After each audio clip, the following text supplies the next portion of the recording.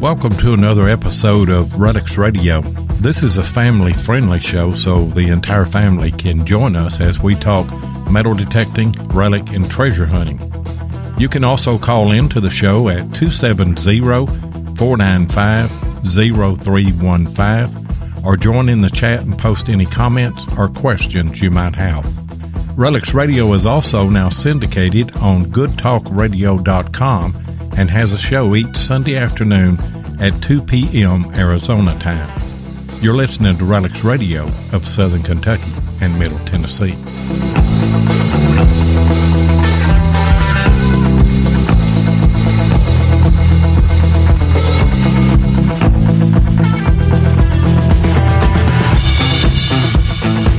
Goodness gracious, it's already Thursday again, and we're coming to you live out of Southern Kentucky and Middle Tennessee right here on Relics Radio, right along the foothills of the Cumberland Mountains, right along the most beautiful river in all of the country, the Cumberland River. I am your host, Digging with Seven. And I'm your co host, Tennessee Jeff. And I tell you what, Jeff, I was afraid that uh, we would probably be dodging storms, but I don't think they're going to get here until about 10 o'clock our time, and it's only 7 o'clock our time now may hit you a little bit quicker than that, but I think we're going to be able to get the show in uh, before any of that uh, takes place. Well, I sure hope so because there were some pretty bad storms uh, down in Mississippi, and our prayer, thought and prayers go out to everyone down there that's uh, had any damage or anyone hurt. So, and I just hope we don't have the tornadic activity they had down there.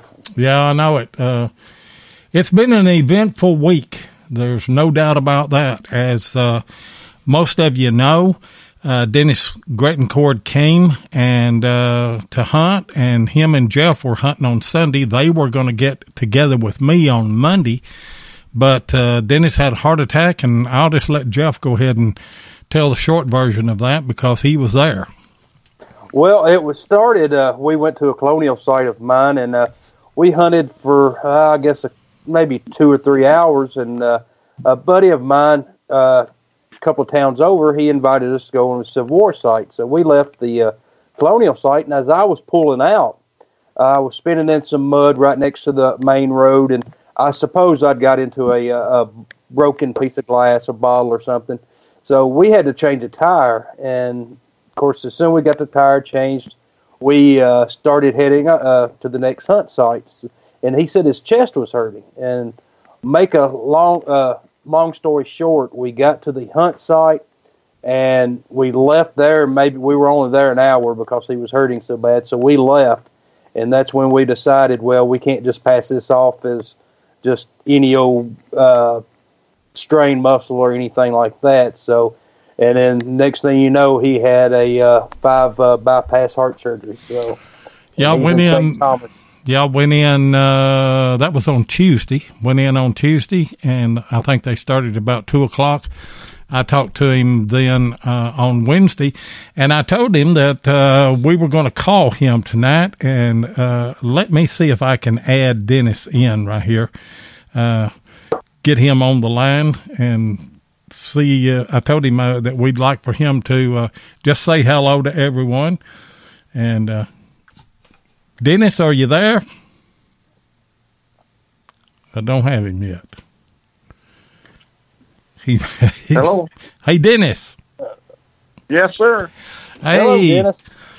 Bub, we're we're live on Relics Radio, and I told everybody that we were going to just try to give you a call and uh, then see uh, what uh, what the situation is now. How are you feeling? How are you getting along?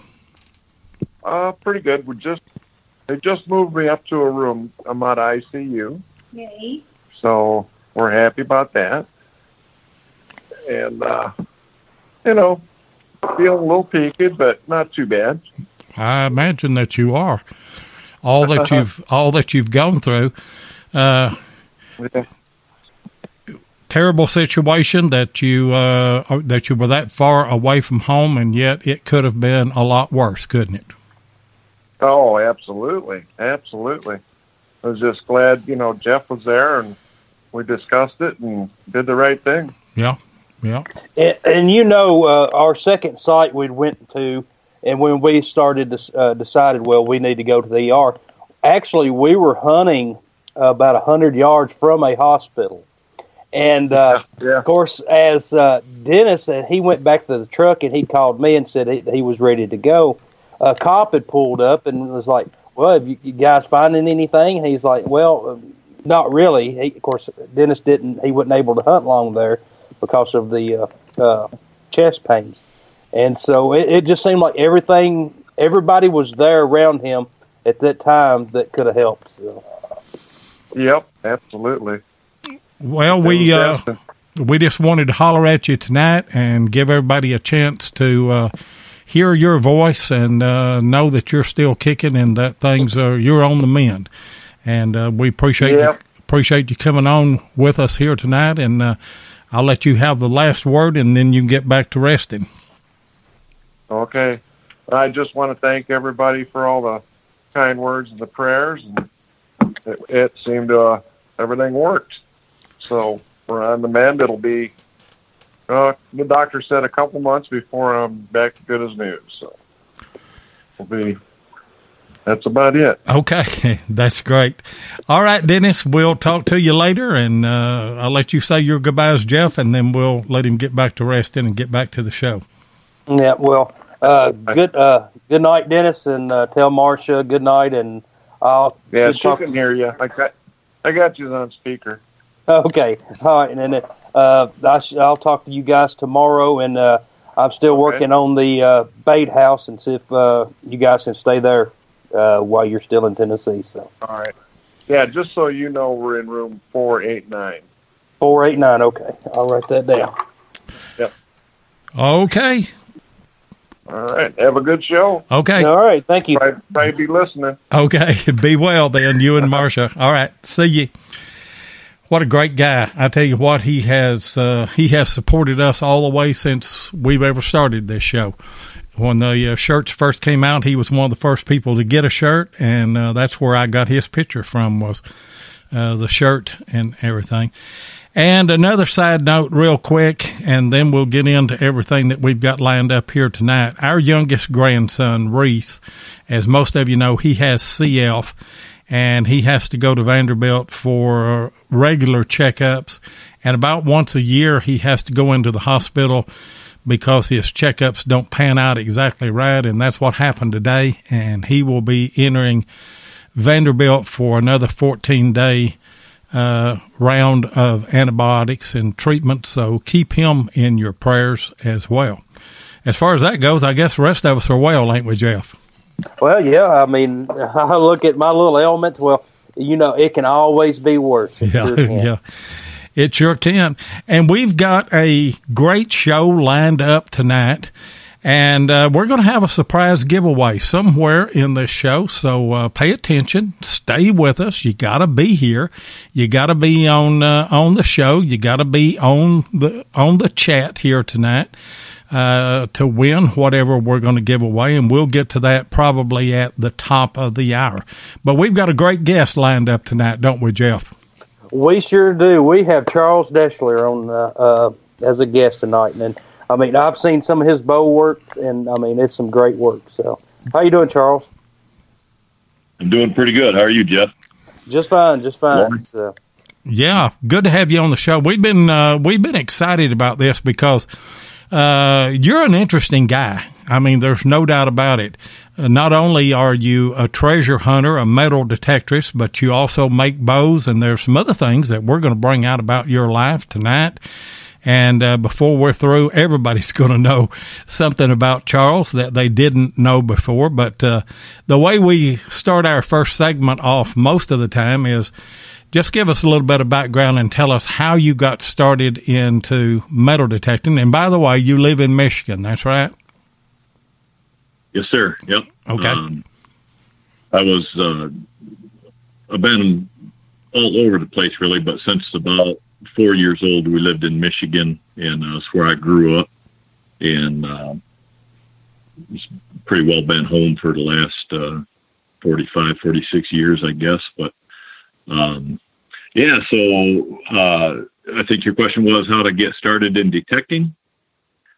Yeah. Yes, that's right. And yeah, so uh, like a lot of guys, I guess you know, I just always had a kind of an interest in it, and um, where I grew up in a small town in mid Michigan here, you know, we we're we don't have any beaches around. Uh, you know, no big no big lakes, no oceans, no nothing like that. But um, I just like any little kid, you know, you see a guy digging stuff out of the ground uh, on TV or something, and it just kind of sparked your interest. And I always liked pirate movies. I always liked uh, the the Mel Fisher story, of course. Um, that was all going on in my high school years, and I followed it as I could. You know, we didn't have internet and all that stuff back then, but um, you just you know you'd you'd see a, a cover on a magazine or something at the store, and it just you know it lit my eyes up. I'll tell you what.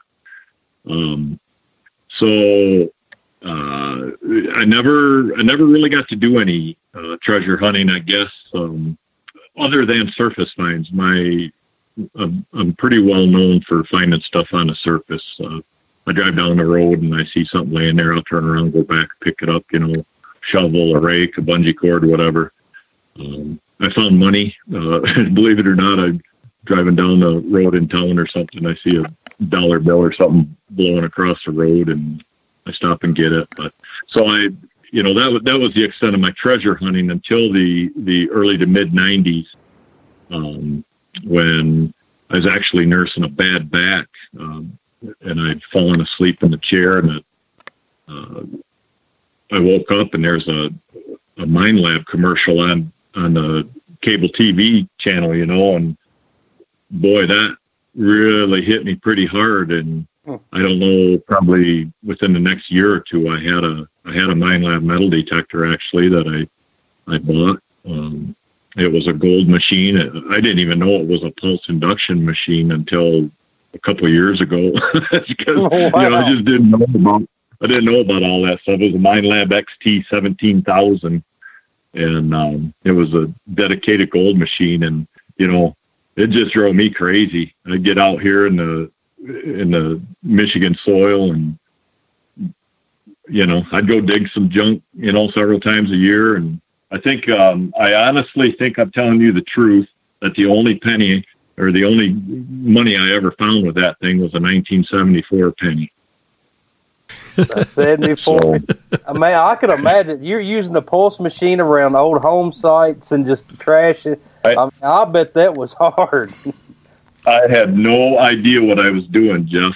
Um, I I remember the guy that sold it to me. He was, he was a neat character. He was a, a miner. Um, he'd run a gold dredge and a sluice, and uh, he'd go to Arizona every winter. And um, he was good people. Um, him and his wife were, were real good people to us, and uh, he ended up with this detector in on a trade deal, I guess, and he made me a good deal on it. And uh, you know, I used it. I, I found a lot of stuff for people. I was, I did more um, finding, you know, I found the, the property stakes and, you know, buddy loses a, an expensive arrow for his, you know, target practicing. And, uh one kid took uh, the keys out of the camp trailer and lost them. And, you know, I found all that stuff. I was, I was pretty good at finding things for people. And, um, that, that was that's what I did with that machine. I, it I didn't find no no treasure with it. That was for sure. so, how did it feel uh, when you got a machine that had discrimination on it? Um, yeah. So that was um, I had that that Minelab. I think I bought that in '96 or seven, and you know, I just I just monkeyed around with it all those years, and um, and then I got when I got onto um, Facebook and I started seeing some groups and things of uh, I I don't know if I searched it out one day or whatever, but um, as soon as I found out about metal detecting and how popular it was, I guess uh, basically I seen one picture online and that was it. I was getting a new machine. So um, I ended up getting a, a Fisher F44 and um, I like that little machine. I found I found some good stuff with that. Uh, I struggled with it, trying to figure it out. But once I, you know, I asked a few questions to some guys, and they helped me out, and I got some good settings on it. And boy, uh, I went to uh, I went to a, a pretty good sized recreational lake um, about an hour and a half from here with one of my my hunting buddies. Um, I, I never met the guy before. I met him that day, uh, but we had chatted online. He's actually got family lives in my hometown. Um, but, but he invited me down there, and I went down and hunted with him. And he said, "How's your machine working?" I said, "Well, I don't know. You know, struggling." But I went. I dug like two signals, and then I dug a 14 karat gold uh, child's ring.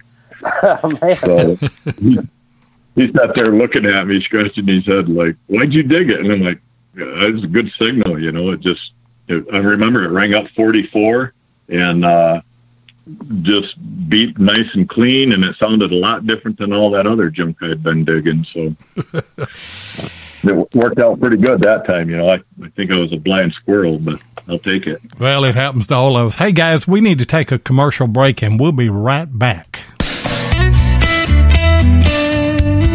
You know, t shirts are a perfect way to get your brand recognized, whether you're talking about a business, a club, a sports team, your YouTube channel, or whatever.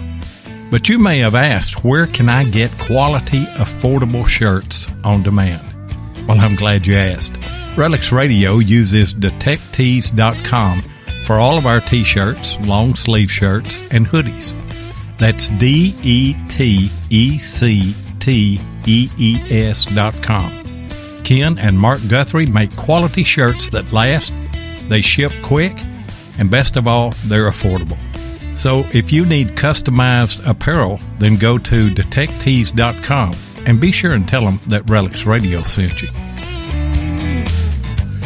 And Charles, courtesy of detectees.com and Ken and Mark Guthrie, we're going to give you a shirt at the conclusion of the show tonight.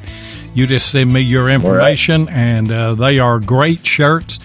Uh, they got uh, two rednecks with a metal detector on the back of them. That's our motto. and so uh, yeah. you you may get some yeah, strange looks, but uh, you know they, they, they have a little bit of uh, they have a little bit of luck with them, don't they, Jeff? They sure do. I've I've had quite a bit of luck with mine on. So, and hopefully uh, you'll have some success on, with yours on. So. What uh, uh, what kind of detector do you use now?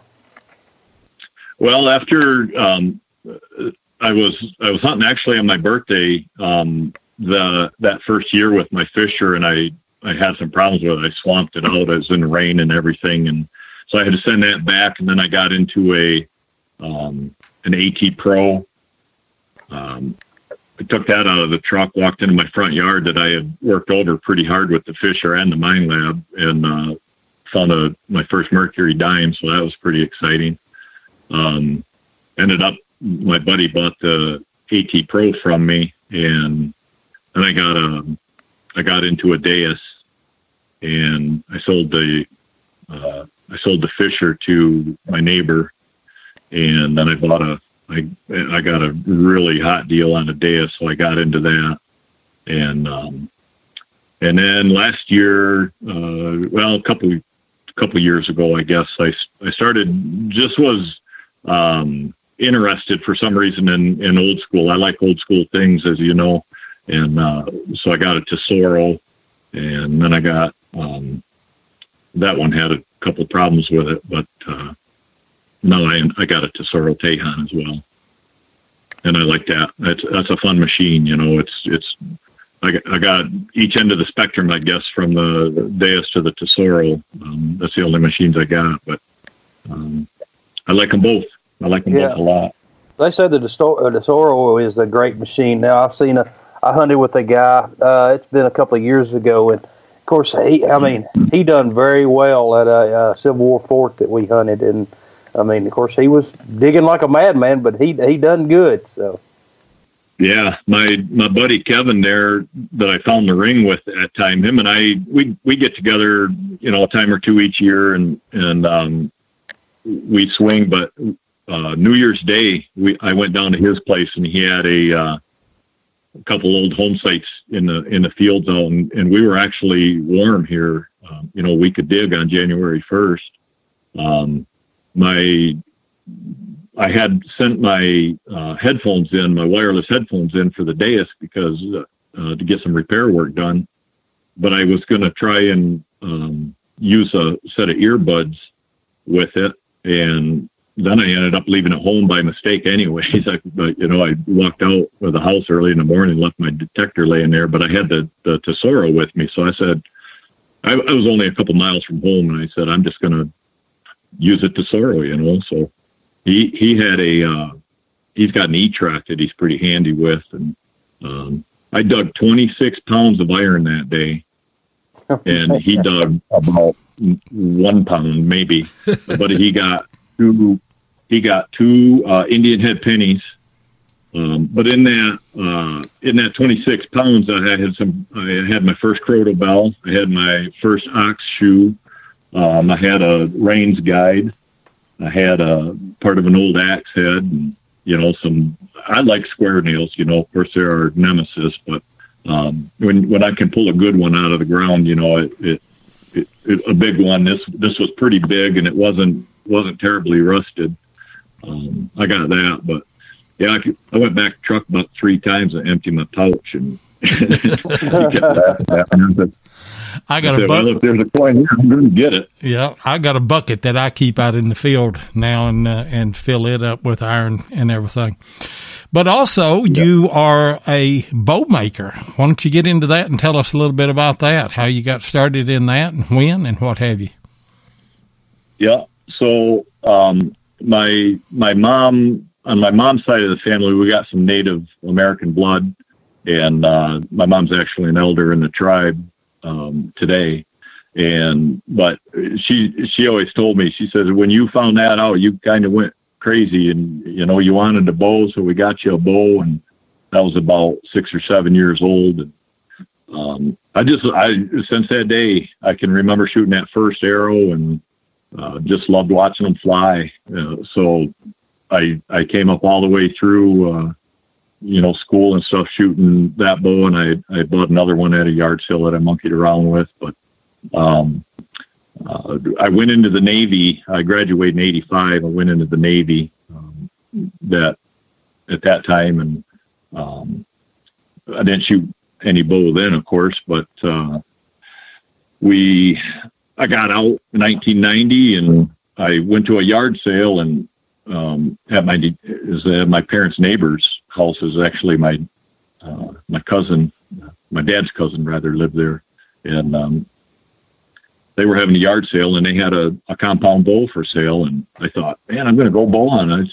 So I bought that bow and I shot that for a little while, but um, the job I got when I got out of the service was drilling water wells, and um, so I was on a job site and we were drilling next to an old barn and uh, there was a big woodchuck hole there, and I told the homeowner he was out talking to us, and I he said, "Man, I got to get that woodchuck out of there. It's going to break my barn down." And I said, "Well, go get you a 22 or something." And I said, "I'll stick my big water hose down there, and we'll flush him out."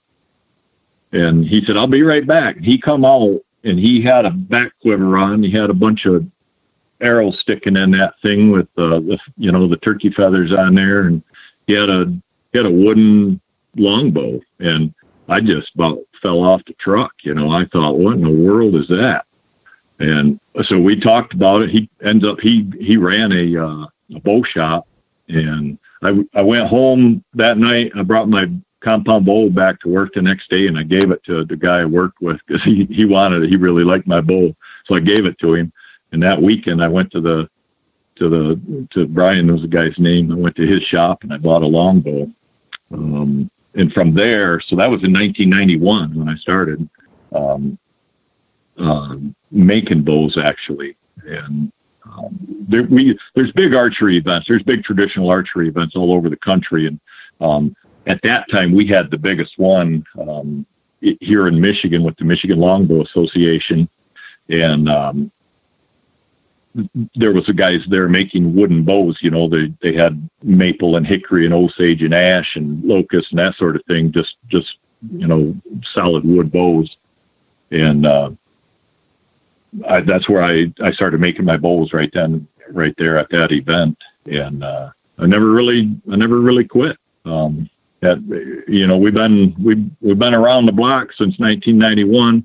I met my wife uh, at work in 1994. We had I had some pretty uh, big life changing events in '94. Uh, my brother got banged up real bad in an accident. And I decided it was pretty well time for me to quit screwing around, and um, so I, I met my wife, and uh, we did, you know, we did our thing. Um, we ended up moving to Montana and hung out out there for a while, and I didn't I didn't do a lot of bow making, but we got we got some pictures of me standing there in our little cabin uh, with with a piece of wood clipped to a to a sawhorse or something. I was working on a bow there, but um, the the bows that I make today, I started that in um, I believe it was 2006. Now, and, what what styles of bows do you make? What sizes and what have you do you make? Yep. So uh, right now, I make I make a fiberglass laminated bowl, um, and I make them from 54, 56, and 58 inches um, in the one style, and the 56 is by far my most popular um, size there. Um, then I've got two other styles that um, I can make up to 70 inches long. Now, are those 70 long? inches. Are those long bows or what we used to call recurve, or is there a difference? I don't know the difference. Yeah, yeah. So there is a difference. Um, I make only long bows. Uh, the the two longer models um, would be what I would call longbow proper, I guess. Uh, one is a Howard Hill style American longbow. Um, the other one's a just a deflex reflex longbow. But my my most popular one, the 56 inch Ogama, is um, it's what's called a hybrid longbow. I call it a hybrid flatbow because it's you know the design that I've made there. Um, it's it's short, it's maneuverable, it it works really good, you know, in tight spaces, whether you're hunting in a tree stand or a ground blind or you know stalking through the woods or something like that. Um, and it, it's just real easy to shoot. You know, it, it, the design lends itself to accurate shooting. Yeah, and what kind of wood do you normally make the uh, bows out of? Well, my favorite wood is Osage orange, um, hedge or hedge apple, bodark. Um, you know, a lot of that grows a lot down south. So, um, like I was telling you before the show, I, I used to get all my my Osage out of Tennessee, but um, so that would be for an all wood bow or self bow. But the um, I use all sorts of exotics and, and domestic fancy woods here in the in the laminated bows that I make now.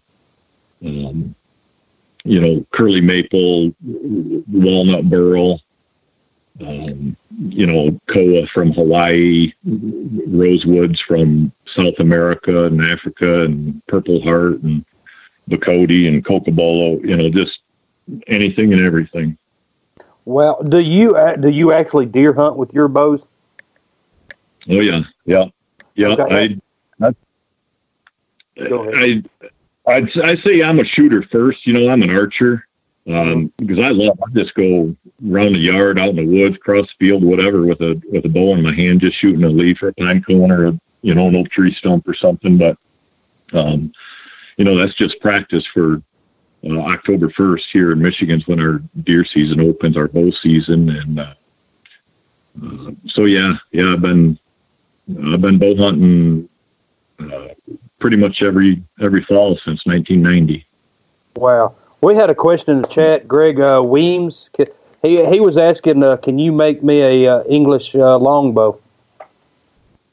I can. I love English longbows. I've made quite a few of them. Um, the the typically an English longbow, you know, would be well, it is made out of uh, solid wood and and all the all those style of bows. I don't I don't have a, a time to do that so much anymore, but um, Greg's been Greg's been bugging me. Him and him and I are buddies on uh, one of my groups on, okay. on Facebook. So he's he's bugging me. But yeah, yeah, I, I, I should get going. In fact, I got a local local guy here that um, he just texted me this morning wants to get an English longbow made. So maybe I'll have to make a couple of them. So that didn't take you by surprise, did it? Hey guys, we need to run another commercial, and uh, we'll be right back. If your passion is metal detecting, then you know how much your success is based on the equipment you use. Let my buddy Tim Henderson of Murray Branch Outdoors in Murfreesboro, Tennessee, help you with that.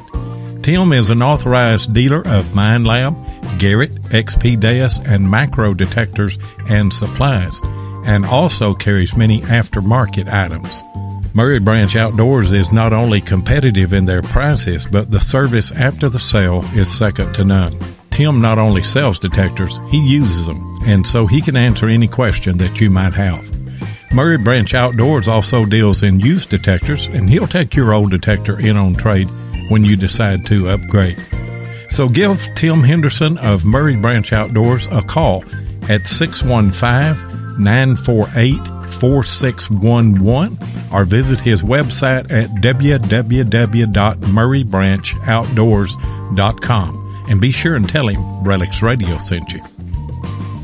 And a reminder, guys, in conjunction with Murray Branch Outdoors and Nokta Macro, we're going to give away an Anfibio metal detector this quarter, sometime between now and June and uh, we'll be putting up some information on that on the Relics Radio Facebook group page. So you need to be a member of that if you're not, because that's where you're going to enter and get your numbers. I guess that's the way we'll do it uh, again. Uh, go ahead. I think you got some more questions, don't you, Jeff? Yeah, I had one myself. Uh, what do you make the arrows out of? The same wood, the uh, bow dart? No. Um, so arrows uh, typically are made out of, you know, the, the old standby was uh, Port Orford cedar comes off the uh, Pacific Northwest up in Oregon, Washington State. Um, but any any wood of that of that type, you know, spruce or uh, Doug fir is a real good arrow. Um, all sorts of, you know, all the different spruces, Sitka spruce, and and that. Um, some hardwoods uh, are used as well. Um, mostly, to be honest with you, I shoot carbon arrows.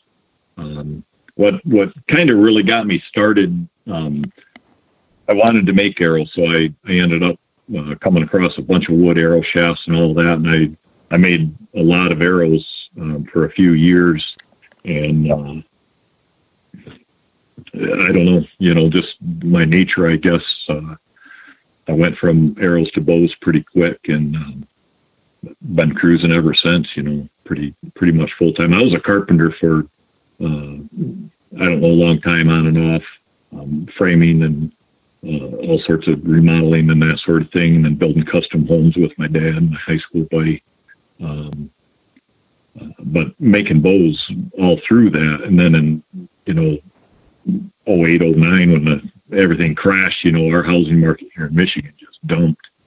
And luckily I had this goal and I was selling bows at the time and I just went full time at it. And was, you know, real thankful that I was, you know, already positioned to be able to do that. Yeah, we we also had another question for Woody Jones. And does your long bows that you make do they vary in draw weight? Yep. So you know, everything's custom with me. Um, so if you're ordering a bow, I'm gonna we're gonna talk about it and and recommend the one that shoots uh, shoots what or fits your desire. You know, whether it's target or hunting or you know whatever whatever you want, and then we fit it right to you, whether you're right hand, left hand, um, high wrist, low wrist. You know, depending on your grip, and and then we're going to figure out your draw weight or your draw length rather, and and put your draw weight right exactly at your draw length. so you know, it's it's a total custom fit. It's it, it's like a tailored suit almost. Yeah, it's a piece of art. I mean, that's pretty much the way it is. And we also had. Yeah. How long does it take you to make a single bow? And then. Uh, um, that's a that's a open-ended question. Um, it really depends on how uh, how fancy it is, I guess. You know how many different pieces I put in there. Um, you know, but the the rough guesstimate would be you know somewhere between 15 and 20 hours for the most part. Um, mm-hmm. You know, some of the some of the higher uh, the more complicated bowls, I guess, that I put together, you know, might be more than that, 25 hours or something like that. Yeah. And then you can find uh, your bows at, uh, what is it, Two Track Bow Company? Yep. On, on Facebook, my, my website is actually twotracksoutdoors.com. Um, but I can't seem to get Facebook to let me change my um, my name on my on my two tracks page on on the Facebook. So it's two tracks bow company, two tracks bow co on there. And I've got that uh, listed in the description on this show here, so uh, you can go there, and then uh, somebody could put it in the chat. The uh, actual website that is two tracks outdoors. Is that correct? dot com. Yes, sir. Okay and then uh, they can get around to that. And uh, Mark Hoover had asked a question earlier: Do you ever go out into the woods or anything and take a bow and a metal detector? uh, no, I can't say that I've done that. Um, well, I guess every fall, um, my I told you that Fisher F forty four swamped out on me. That was on October second. So it was second day of bow camp, but it was raining, so we didn't go bow hunt, but we went metal detecting. Um, so I don't take them at the same time, but I I've been known to take a metal detector to bow camp. Yes. Uh, me and Jeff couldn't do that because we get out there in the woods, and if we didn't find anything, we get mad. We just want to shoot something, wouldn't we, Jeff? it, there wouldn't be a live cow from here in Texas if we, if we had a bow with it. no, it, it, you know, the funny thing was that day, October 2nd is my birthday as well. So um, I was in the North Woods of Michigan out in the middle of a cedar swamp, and my buddy has got a beautiful cabin out there, and he's just uh, his his name's we his uh, bow name is the Tree Dancer, but his metal detecting handle is uh, Big Nectar.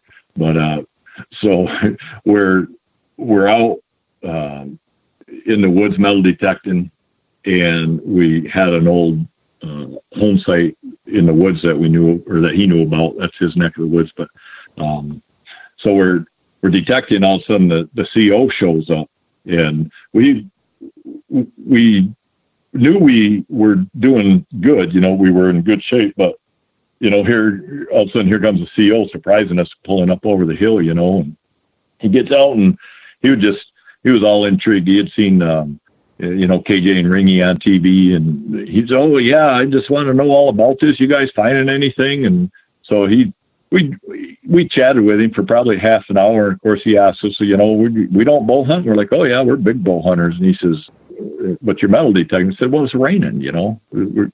he said, so we he thought it was funny that we uh, we could metal detect but not bow hunt. And then he he asked, he says, where's your where'd your camp at? And we told him. He goes, you got that's like the best deer hunting in the county right there. and you guys are going So we were we were a little bit shamefaced right then, but uh, uh, we got over it. You know, we went we went down to a beach after that and found some found some more junk and coins, and I think something my my buddy's grandson I think found a, a little junker ring. But oh yeah, it was good good fun. You guys know what it's about. Oh yeah, it, it's great fun. Uh, how did you come yeah. up with the name Two Tracks? Mark Hoover wanted to know that. Yeah, um, so my my wife and I, um, we were bouncing different names around, and and we had one name for years that we were always going to call a, a, a, bow business when we finally, you know, when I finally was going to start making bows uh, for sale and everything, but uh, um, that that didn't pan out for us. So we were tossing other things around, and uh, I don't know. One of us, you know, said something about two tracks. In, in Michigan, we call it two tracking. Um, you know, you go out in the woods, you know, with your with, your four by four, and you go down the two track lane, right? So mm-hmm. that's what I grew up always knowing what a two track was. But um, as soon as we said two tracks, we knew that was going to be the name, and uh, I was a bow maker and doing all of that stuff. And then my wife, um, we we got a small farm here, and we raised uh, sheep, and we sheared the sheep. And then she was she felt the wool, and we'd make.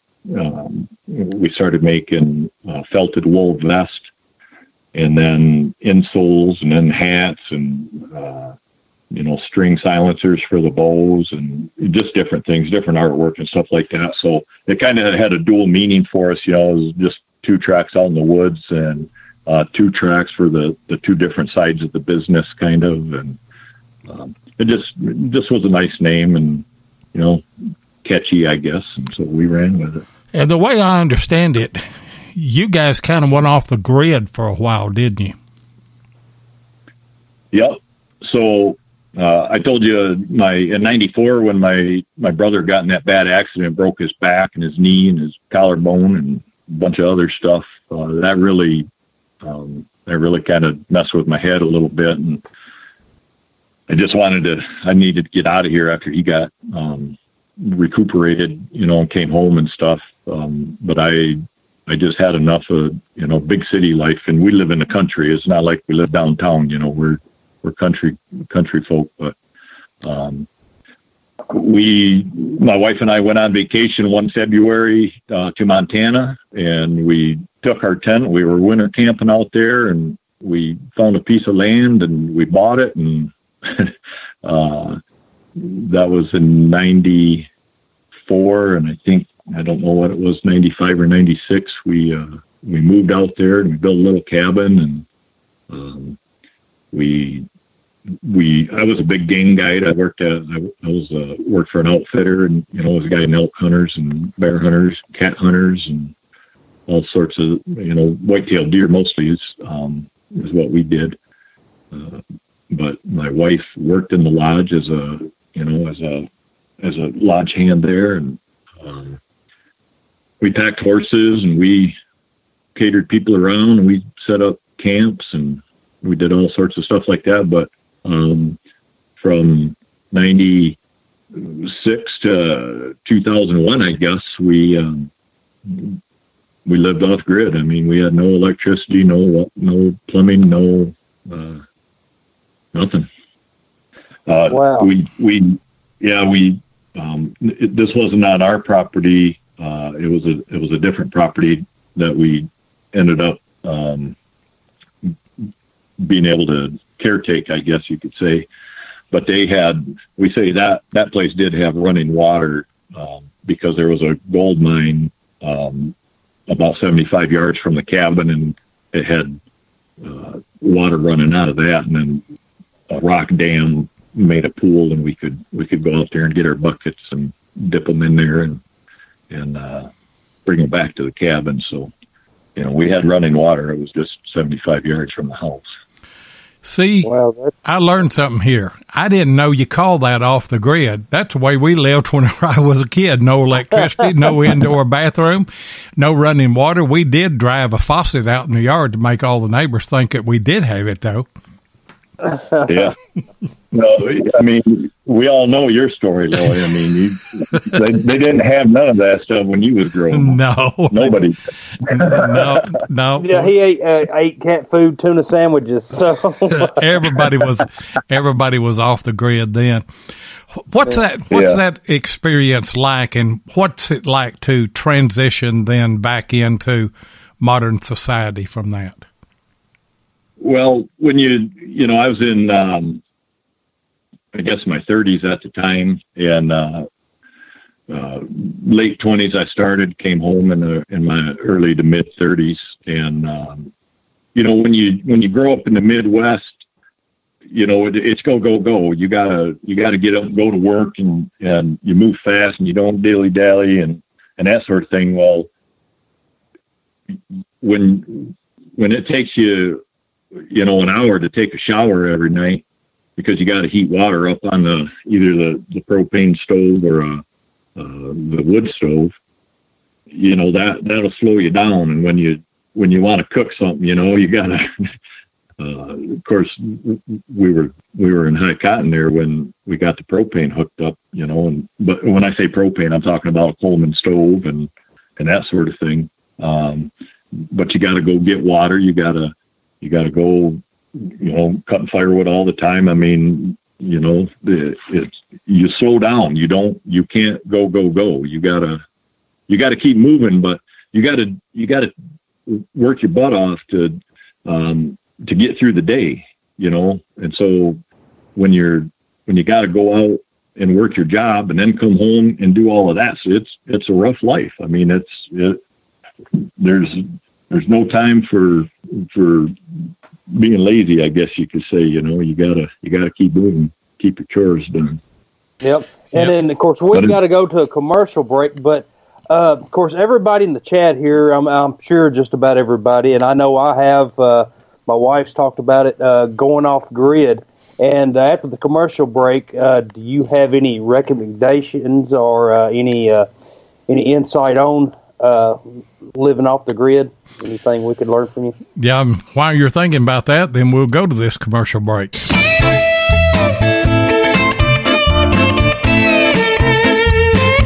If you want to keep up with what's going on in the metal detecting world, then you need to be a subscriber to American Digger Magazine.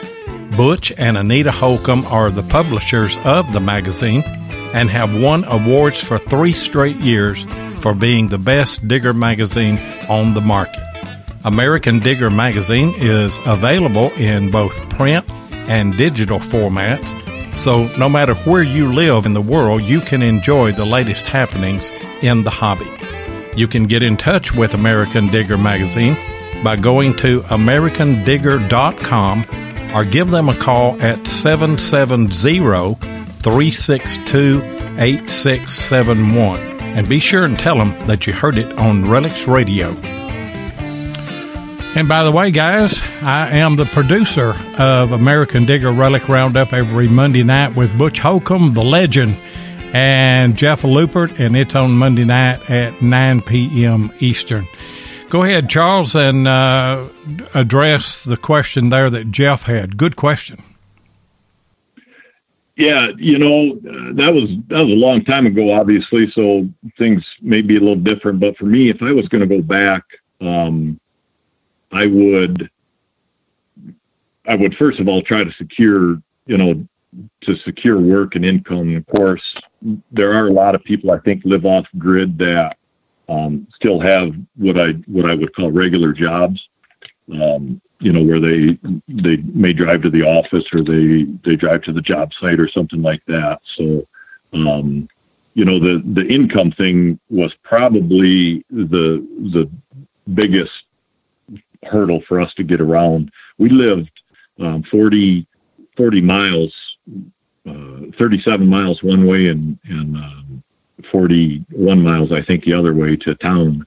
And, you know, so uh, just a couple hundred people in our in our county or in that valley where we live. So you know, work was scarce, money was scarce. Um, so it, it would be to you know secure, make sure your income is secure, your money situation secure, and then um, just keep it simple. You know, I don't I don't want a bunch of clutter around. You know, you got to, you, you need to be able to eat and drink and and relax and you know go out to your shop and make bowls i guess that sounds good and i mean i would have to have the ability to have my studio. I could not go off the grid anymore. There's no way. I would have to. I would have to have the ability to flip the switch and go on the air for a while. If I can do that, I'm well, fine. You know, I don't care about the running water. And and uh, Woody made a good comment a while ago talking about no indoor bathrooms. And I tell you guys, I think the worst mistake that mankind ever made was moving the dogs outside and the bathroom inside. But Woody said that. Uh, uh, talking about the outdoor bathroom, he said 30 yard dash by Will He Make It? well, yeah, I'll, I'll put a new spin on that for you. So we lived in the northwest corner of Montana. We could hike into British Columbia or Idaho. Um, that's Grizz country, and that's wolf country, and that's cougar country. And we seen them. We seen bears. We seen grizzly, mountain lion. We've seen it all. Um, our neighbors across the way, uh, they were going to bed one night and the my buddy's wife um, was actually my pastor, our pastor at the time, and his wife. She went out uh, to go to the to go to the outhouse before bed, you know, and uh, their four year old daughter, three or four year old, she was real tiny. She was standing on the back porch holding the flashlight around in in the doorway, holding the flashlight, uh, so Mama could walk outside and, and go use the bathroom. And uh, they heard a big wolf and a growl, and, and the daughter moved the light, and there was the biggest grizzly in the valley. Everybody knew this grizz. It was it was almost 900 pounds. You know, had been tagged and, and handled and everything by the fish and game. But uh, that grizz was, I think it was about 11 feet from uh, from Mama. oh. Mama Mama wet her pants and, and ran back to the house and uh, heard her knee coming through the coming through the door and picked the kid up and threw the kid into dad's arms and yeah uh, scared people so um, and told daddy we're yeah. leaving the grid well they uh, yeah. they had had a and I don't I can't remember now if this was I think it was beforehand um, that that Grizz had been in um, and, and, killed their goats. They had a, they had a couple of milk goats that they were using. They were off grid as well, um, but they had the milk goats, and that Grizz got in and killed one, and uh, it was chasing the other one around the around and around the cabin. And the goat would jump up on the porch and you know gallop across the porch, running for his life, and the Grizz would bang into things and rock the whole cabin and. Uh, yeah, it was it, it was interesting. So um, yeah, late night bathroom runs are are, are, pretty uh, pretty interesting. That's how. You better have your sidearm with you when you go to the bathroom. Always, yeah. I carried I carried a big pistol at least every every time I was out. Yeah, yeah. We had a. Uh, I, they called it a chamber or something. I can't remember now what it was. It just big old pot that you had in the house, you know, so that you didn't, especially in the wintertime, you know. And you were talking about baths and everything. I know whenever I was young, all the girls got to, uh, and we had a big wash tub in the kitchen and they would heat water and put in there. All the women got to take a bath first and then the men last. And by the time we got in there, the water was always cold and it was already dirty by the time that we got in there. Yeah. Hey guys, we're past our uh, syndication point now, so we're going to open up the phone lines, and uh, Jeff can put it in chat for me if he will. The number is 270-495-0315. And uh, if you've got a question for Charles, you can call in and ask him that. I'd like to transition over to uh, just the subject of treasure hunting. And I know in your case, the answer to or your explanation of treasure hunting is going to be different than a lot of people's. Can you explain what treasure hunting is to Charles and, and his family? Yeah, well, um, treasure hunting to me, you know, it is what it is. Uh, I I get excited about just about anything, you know. That um, that day, my buddy Kevin and I were detecting here a few months ago. Um, 26 pounds of iron, you know, and I was I was as tickled with uh, with an ox shoe and a, a bent crotal bell and a you know a couple other knickknacks as I was anything else. And um, I mean, you know, don't get me wrong, I want some big silver and some gold and you know all that sort of thing too. But um, we, I just to for me to go out on a field where there used to be a house and just pull some stuff out and and look at it and feel it and throw it in a bucket. You know, I don't know. I just like it. Uh, it is what it is. Of course, um, I'm I'm probably the worst researcher out there, uh, but I'm getting more into finding the old um, uh, the old home sites and, and little ghost towns and stuff around here. And um, so hopefully this year uh, I'm going to be able to get on some of them uh, before the crops go in the field. Our farmers are pretty pretty efficient around here. And last year I had a couple sites picked out, and but you know the way the weather works and everything, it was by the time I had an opportunity, they had crops in the field, and so it was done.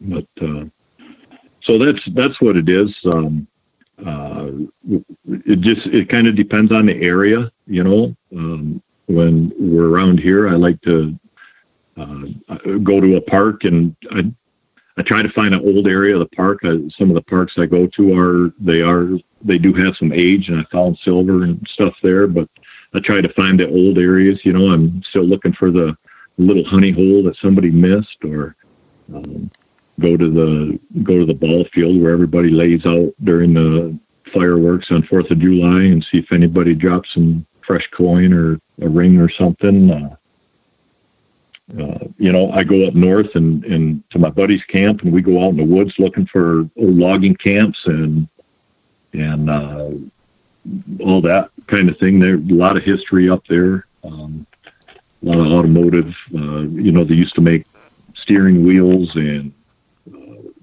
you know, wood spoke car tires or car rims up there. Just all sorts of stuff like that, you know. So we we find those things, and you know, we don't know what some of it is, but it's pretty cool, and and uh, you got it. So there it is.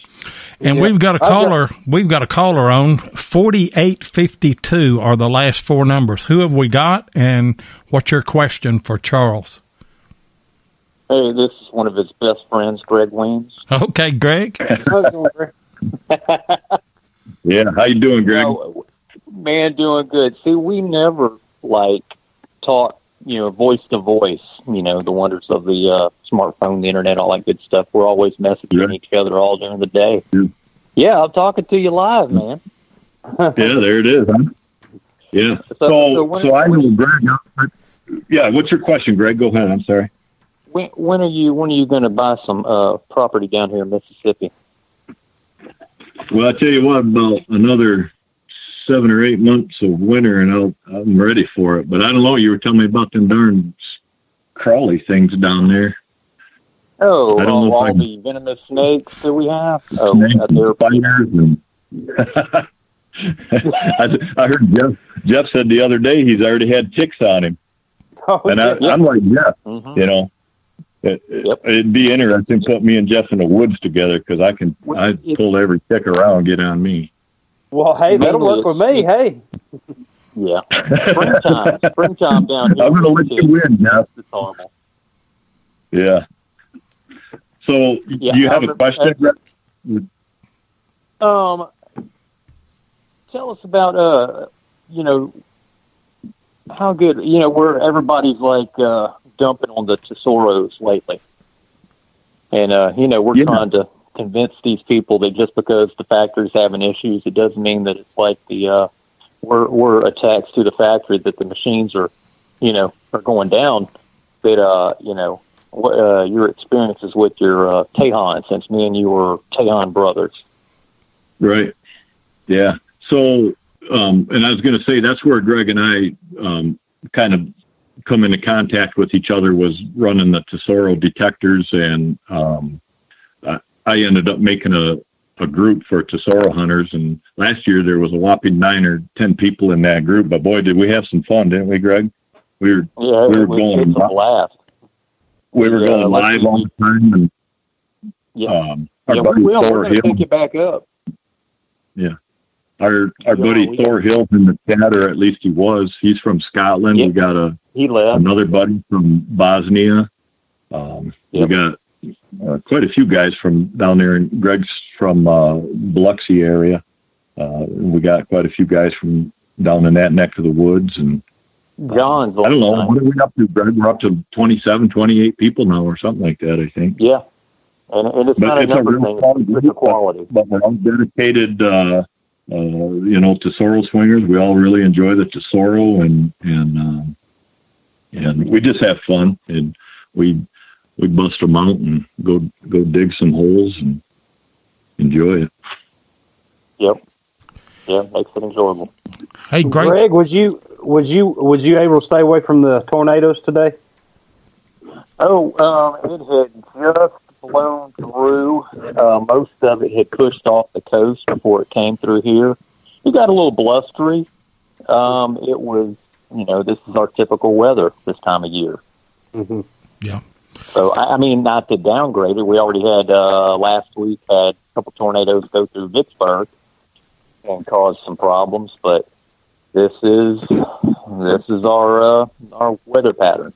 Now, in June, now we're going to have to watch out for hurricanes coming through. This is uh, this was this is Katrina land. Yeah. So, Well, great call, Greg, and uh, appreciate you calling in, talking to your buddy no here. problem. Okay. I know. Yeah, thanks, Greg. Good talking to you, Greg. Yeah. All right. Okay. See you. And also, I told everybody that uh, we were going to have a surprise contest, and we were going to do that at the top of the hour. We're at the top of the hour right now. Mark Hoover, are you awake? You better be because people are fixing to put the answer to this trivia question in the chat, and the first one that gets it right, what we want to know is what is the length in inches of the most popular bow that Charles makes. So put your answers in there. And uh, here's what you're going to get you're going to get a silver metal detector pendant uh, from Coin Rings by Justin Sully. And uh, whoever gets it right here in a minute, we'll probably get Justin on the phone and uh, let you talk to him. Uh, Greg got it. It's already yeah. okay, we've already got one in. Who got it? Greg. Craig did? Yeah. Okay, Craig, uh, you call in then at uh, 270-495-0315. And while you're doing that, I'm going to link up uh, Mr. Sully, and uh, we will hook you two guys up. You can tell him what kind of detector that you've got, and uh, he'll get it out to you while we're waiting on Craig, Yeah. while we're waiting on Craig to call in, uh, I'm trying to add Justin in, calling him, and uh, boy, that went quick, didn't it? Hello. Hey. First guess, I think. first guess, somebody was listening, wasn't they? Yeah. Yeah. Well, Good we're we're we're still waiting on Craig to uh, to call us here. Uh, we'll give him a few minutes to uh, to do that. He may be like uh, he may be like ring finder. He may be looking for his can and string. I don't know. hey, I, uh, Justin reached out to us last night and just told us that he wanted to uh, wanted to give away this uh, prize here tonight, and uh, uh, what a gesture! And I tell you what, those things are they are beautiful. I, I think um, there's there's several uh, guys in the community, you know, between uh, couple T-shirt outfits and uh, you know the, the silversmiths and the jewelry maker types and, and those coin rings. I mean, uh, and then I think there's quite a quite a few people dabble in uh, taking the the finds and and making little art pieces out of the even the the trash pieces, don't they? Um, Yeah. I, just, I see that stuff pop up in the in the groups from time to time, and pretty pretty cool how people get into the hobby, you know, in such a way to um, kind of the way I got into bow making. You know, I just like shooting bows. Next thing I know, you know, I'm doing it full time, building a shop. And, Yeah. And we do have we do have a call that has come in 0537. Is this you, Craig? Yes, sir. It is. Well, congratulations. Congratulations. Uh, I will let I will. I will let you and and uh, Justin have the floor here for just a minute, and you can tell him what kind of detector that you've got, and uh, he will make that, and then I guess you'll have to get on Relics Radio Facebook group page and send us your address and all of that, and we'll we'll send it over to Justin, or you can message him on Facebook. But uh, however you want to do it, Justin. Yeah, yeah, that's fine. Either way, um, I'm on their coin rings by Sully, or just look up Justin Sully. Um, I mean, I'm already on your page. That. Yeah, see how that is. um, so yeah, I mean, congrats. You know, they're they're fun to make. Uh, just let me know whatever coil you would like, and I'll go ahead and get that made and ship it out to you. And all the coils I make are silver, so I'm not fooling anybody around. What are you swinging, um, Craig? Oh, no, I'm blown away. I'm blown away with your work. To be honest with you, uh, I swing a Appreciate Equinox 800. You swing a That's what? My favorite one to make too. An Equinox 800. Oh, an Equinox 800. That's a popular detector right yeah, now too. Oh yeah. Yeah, that's cool. I, I love it. Yeah. I moved up from a AT Pro to that Equinox.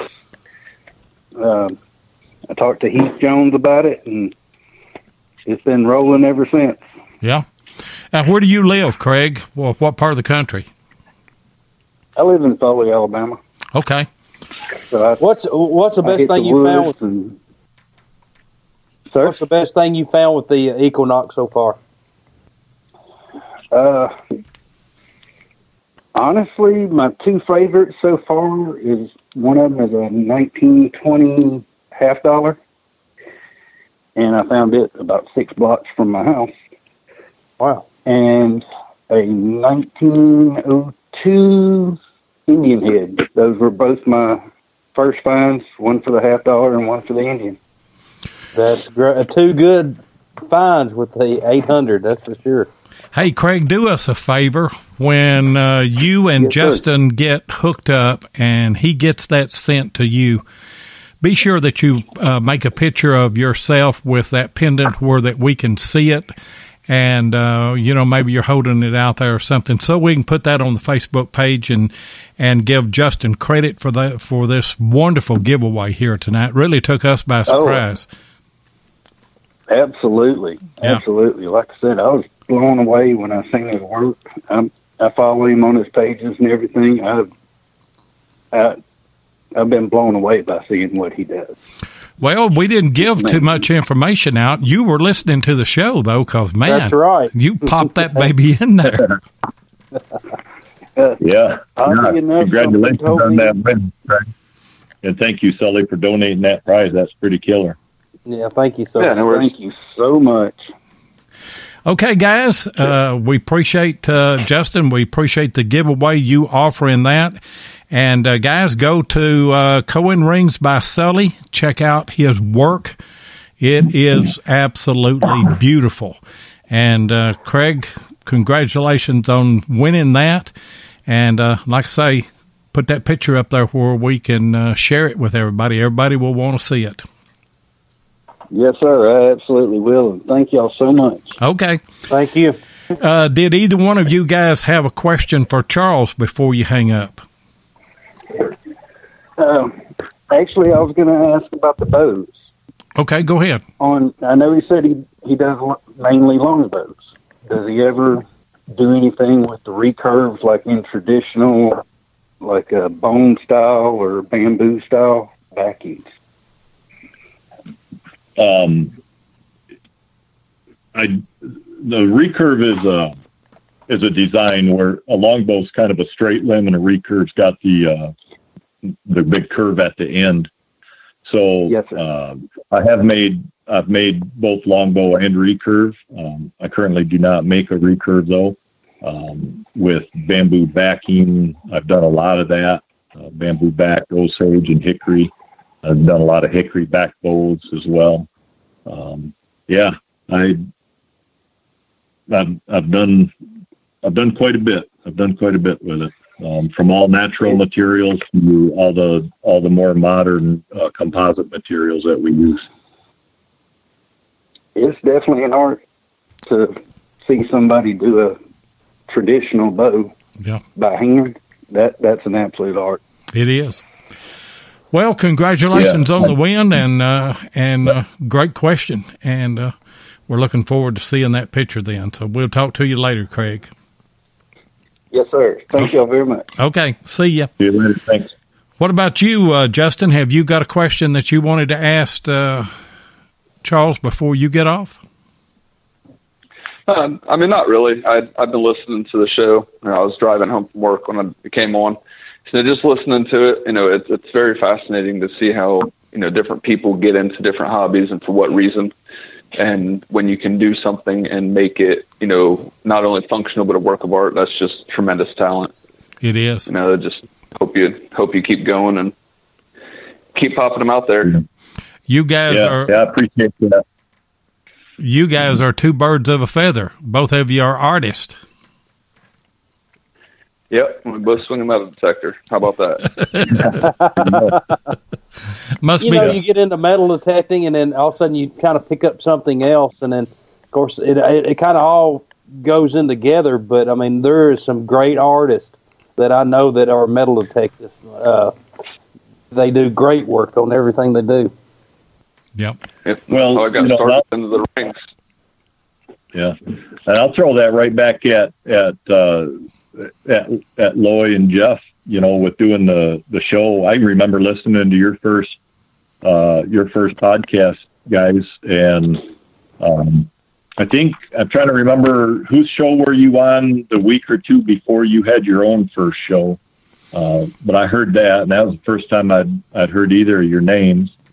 Um, but I could tell right then that you know you you were you were going to come on and you had kind of a different edge to you about the the art of putting a show together, and you guys have really run with it. It's been I think a little over a year now, and Yeah, we're uh, in November. We're coming up on two years, and we hit the ground running. Uh, of course, I've got yeah, we did, yeah. I've got a background in it, and so it wasn't something new to me. We talked about doing live stream, and uh, I told Jeff, I said I'd I'd rather do a podcast because it's kind of a up and coming thing, and besides that, me and Jeff have a face for radio, so that's we should do. But that- I remember that, you know, with your with your music and that sort of thing, and and I I just I remember I was sitting in this exact same spot I am right now out in my shop that night listening to you, and I thought I said that guy he wants to make a he wants to make a radio, he wants to make a real good program, and, and you're doing a good job at it, man. I love your guys' show. Well, uh, I, I surrounded uh, this. This show was my idea to start with, but I surrounded myself with uh, good people, and uh, you know they they get the credit for it. Mark does a wonderful job managing us, and uh, he's not beyond calling me on the phone and saying you can't do that, or you need to do more of this, and you need to do less of that.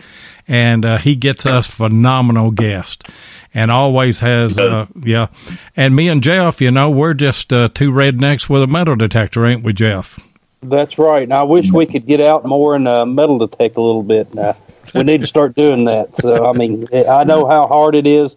Uh, things changes, but I mean, it's we we need to make it where we can get out metal detecting again.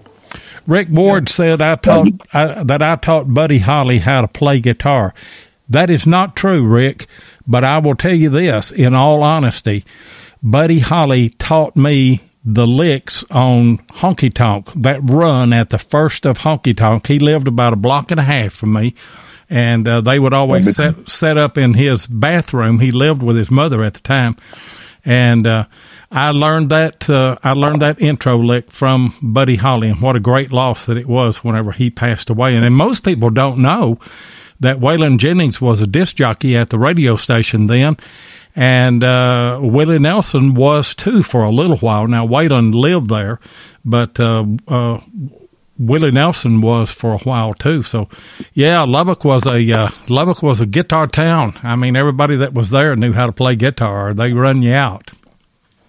and you know, it, it's funny when we're driving down the road. Say if we're uh, say Charleston or Chattanooga uh, doing a uh, relic show, and then we'll pass an old bus that's grown up in weeds and everything. Lloyd can say, "Hey, I've been on that bus. uh, well, hold on, I've been on this bus." And, and it's pretty neat running around with the celebrity that played with Buddy, uh, Buddy Holly. I mean, of course, he was one of my favorite singers. Yeah, yeah, he. Oh yeah, yeah. He, he was a rhythm guitar player. He he was first person that I think that ever played lead by playing rhythm, and uh, it was a completely new style. And he really influenced the way that I play. And uh, if you hear my stuff and and uh, songs that I've played on and stuff, you'll see that influence that I had from him. But anyway, we digress. Uh, I, I, appreciate the comments there that you made, uh, Charles, on all that. And Justin, we really, really appreciate you uh, volunteering this giveaway here tonight.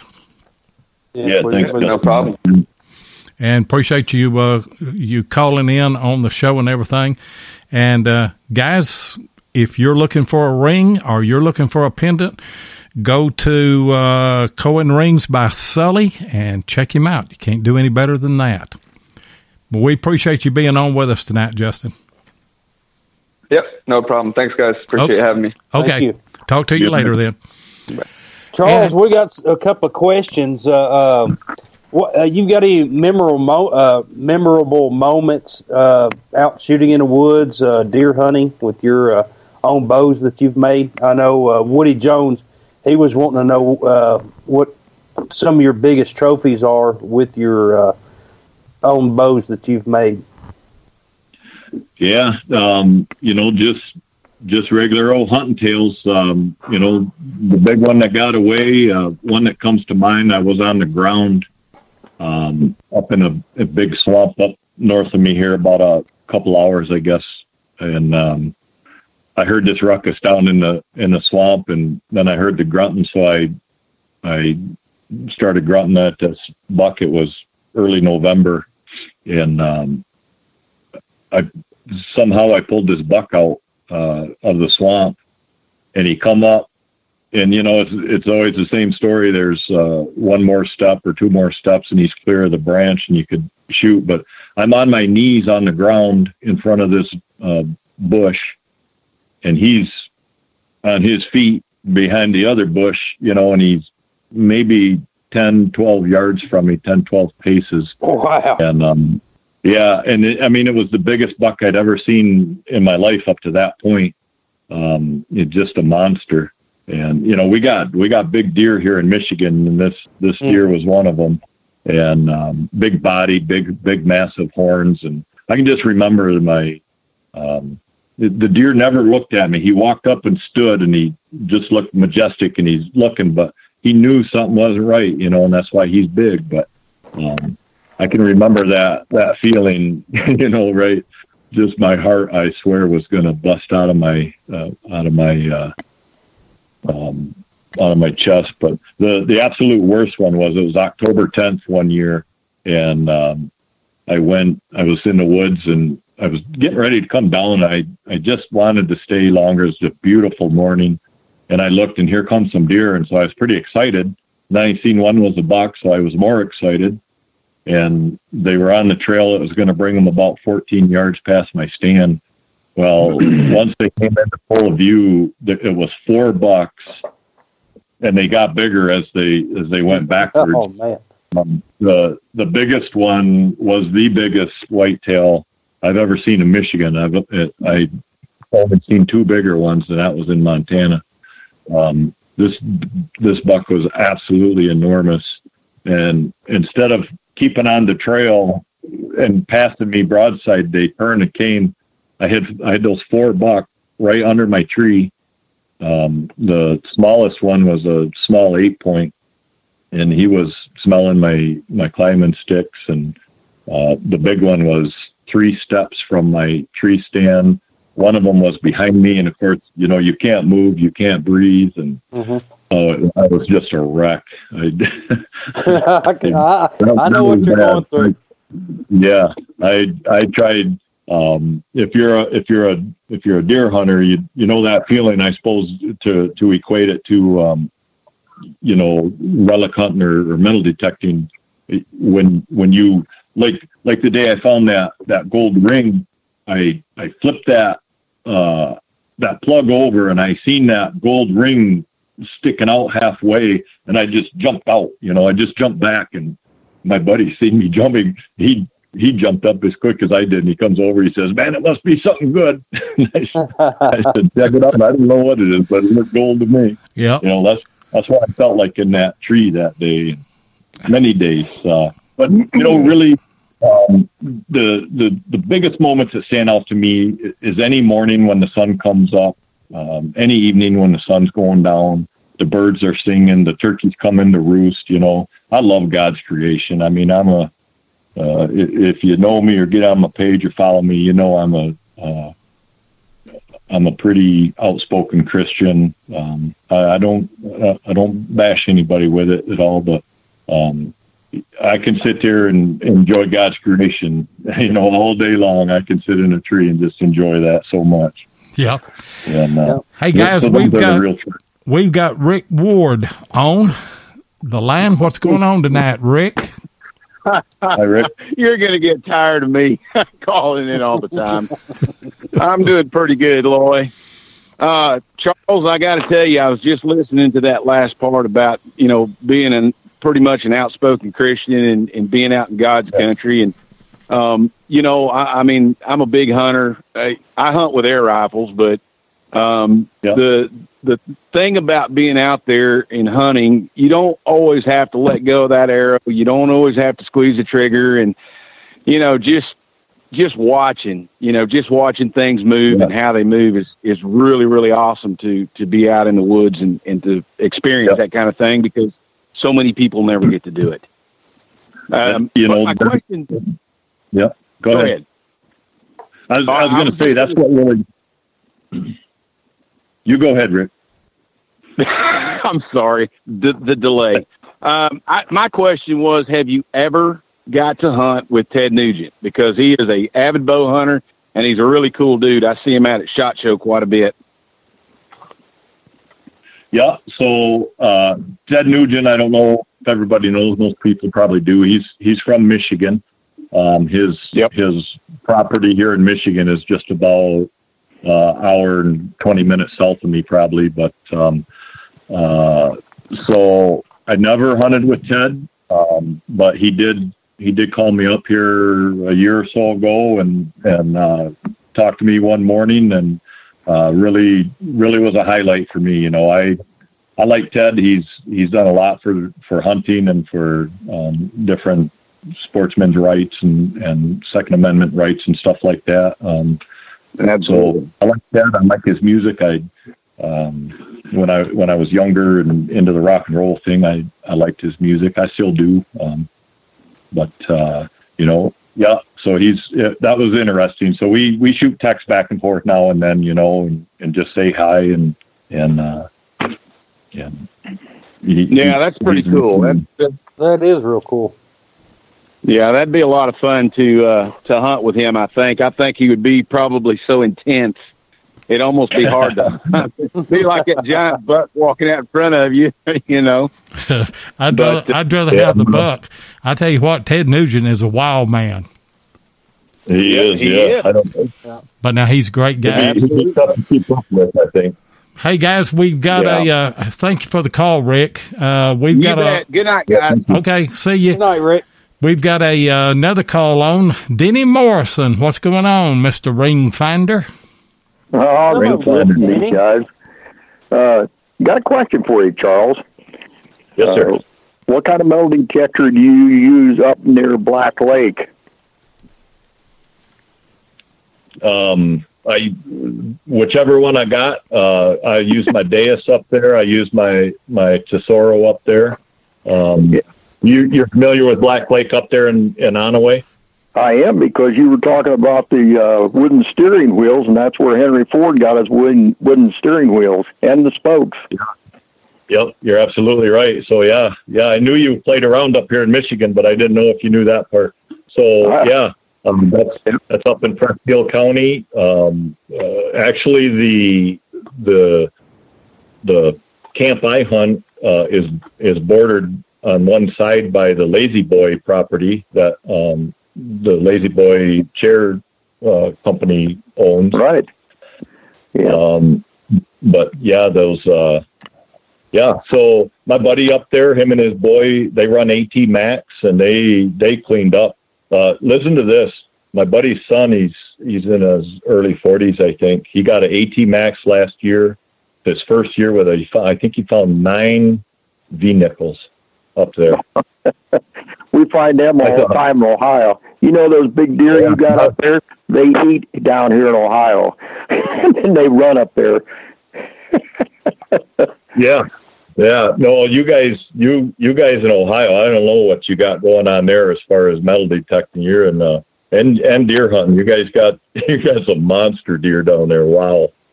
Charles, I I hate to tell you this, you're so far up in Michigan, you're starting to sound like a Canadian. Eh? Ain't nothing hey, wrong Denny. with that, is there, Allison?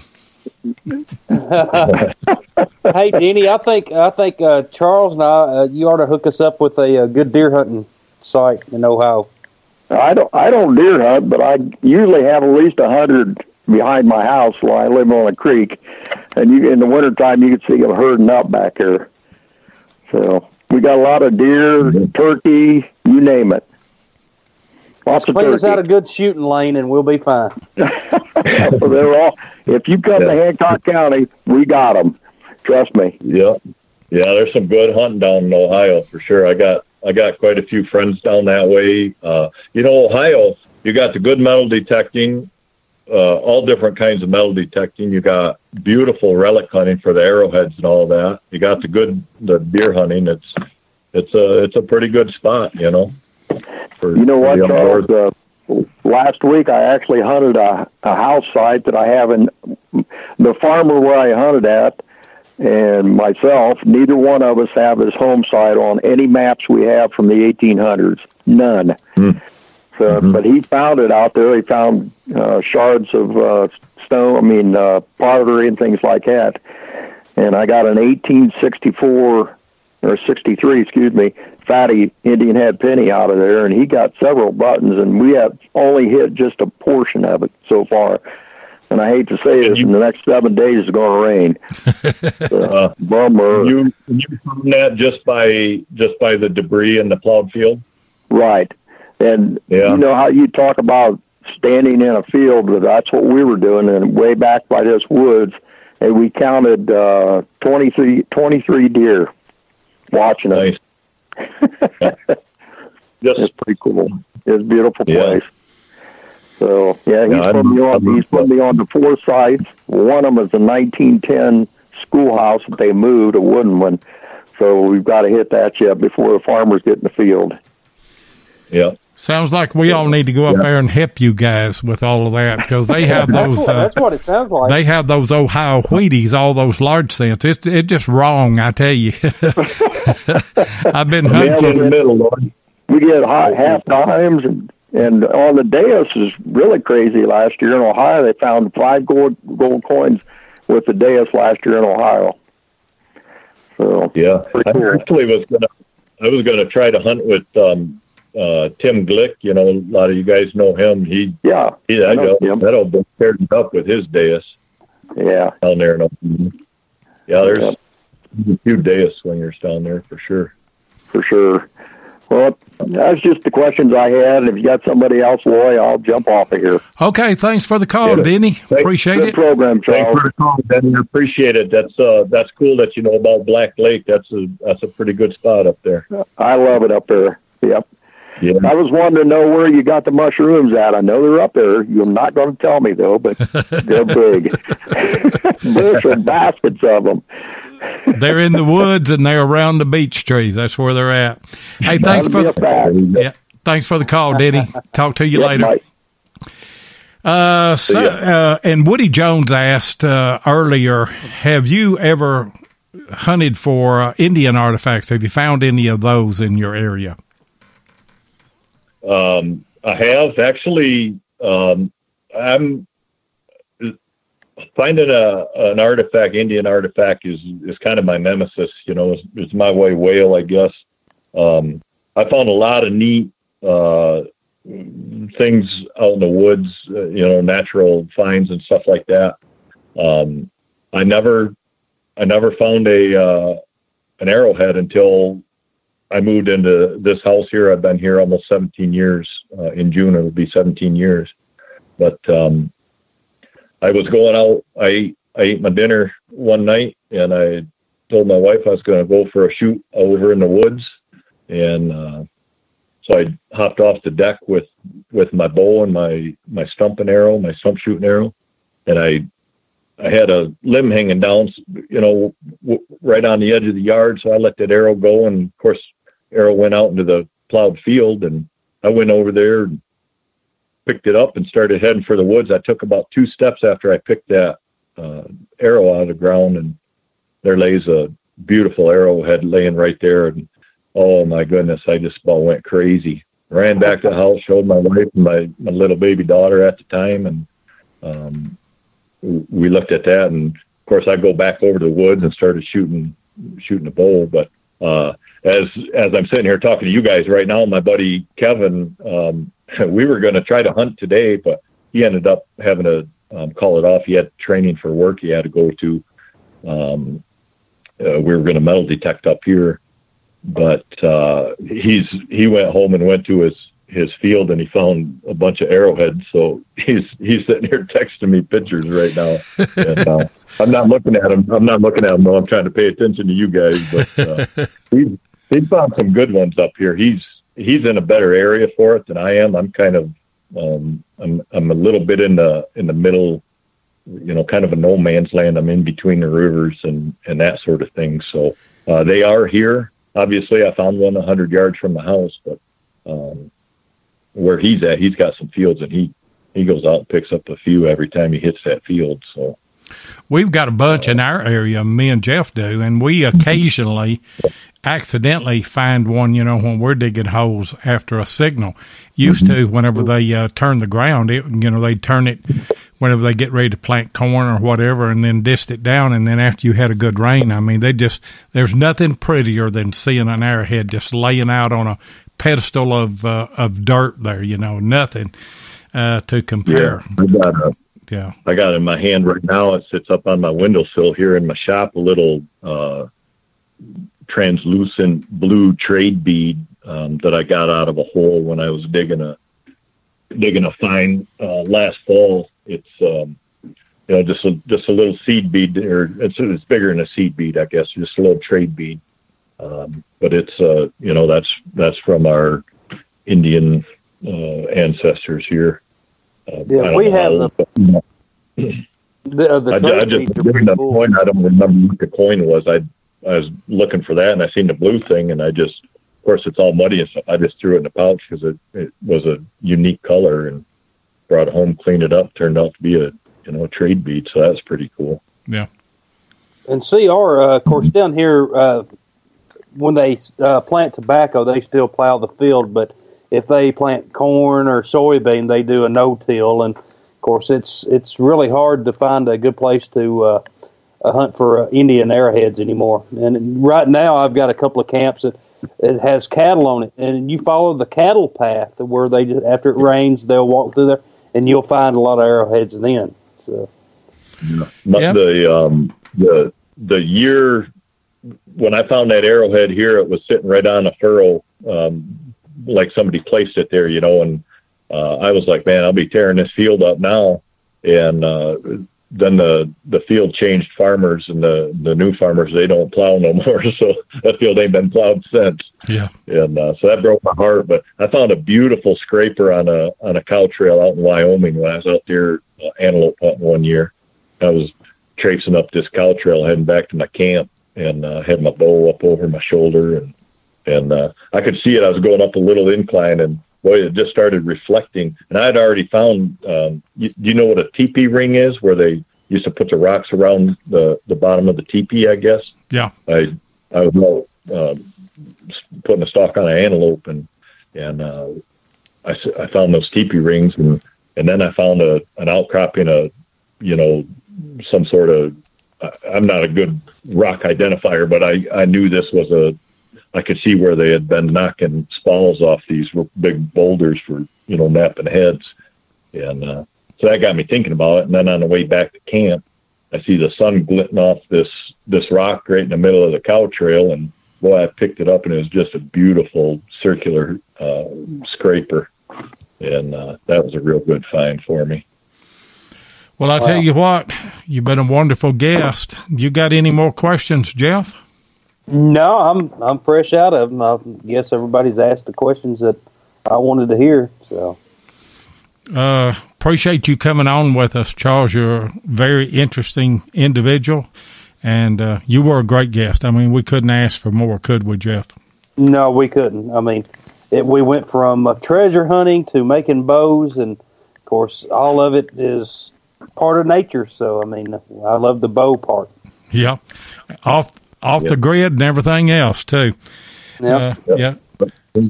I uh, I just appreciate you guys reaching out to me, and and I, I want to make sure I put the half redneck on that list too. You know, he's yeah. Mark's a Mark's a great guy, and we I think Mark and I touched base uh, somewhere a year or so ago, and um, we we've chatted a few times on and off since then. But um, he's he he's a good guy, and you're right. You got a you got a good booking agent right there. So um, not not saying because he booked me, but because he's he's had some dandy guests on here, and I want to while I'm thinking about it, uh, your guests. Uh, I can't remember what if it was last week or the week before. Uh, Greg uh, Perkins, is it? Pickens, um, yeah. That guy, he yep, that was, he had me he had me riveted, man. He, that guy's found some cool stuff. So I really enjoyed listening to him. But you guys are good. I I like I like your stories, and uh, uh, you and Jeff do a great job, and I appreciate you having me on. Well, well we really appreciate it. Yeah, we do. And hang on the line there. Uh, we'll close the show out and uh, then uh, be back with you in just a little bit. Hey guys, if you like podcasts like this, be sure and check out Beyond Sight and Sound with Josh Kimmel on Sunday night and Wednesday night at 8 o'clock Eastern. And then All Metal Mode is on Monday night with Mike Hare and Gypsy Jules, and that's at 8 o'clock Eastern. Obviously, I am on with American Digger Relic Roundup on Monday night with Butch Holcombe and Jeff Lupert. That's Monday night at 9 o'clock Eastern. Hardcore Metal Detecting with Derek Asklar and Craig Talley has a show every Thursday night and Saturday night at 8 o'clock Eastern. And XP Team USA with Dave Kimmel and Grant Hanson, they're on every other Friday night. And obviously, me and Jeff will be right back here next Thursday night. And uh, keep listening because and keep watching Relics Radio Facebook group page because we're going to inform you about the details of getting in on this contest for the Anfibio, Anfibio giveaway real soon.